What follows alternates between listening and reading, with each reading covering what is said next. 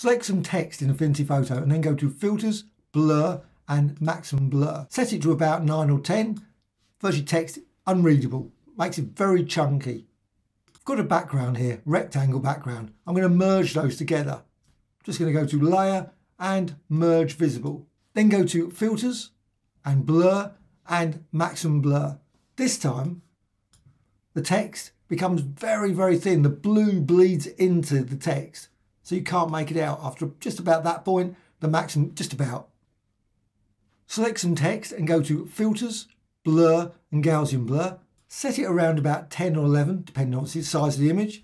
Then go to Filters and down to Blur and Maximum Blur again. And again, set it to about 15, 18, and you can create some very unusual text. And you've got this sort of, now I'm using the circular option. If I deselect that, you get a more chunky sort of square option. I prefer the circular.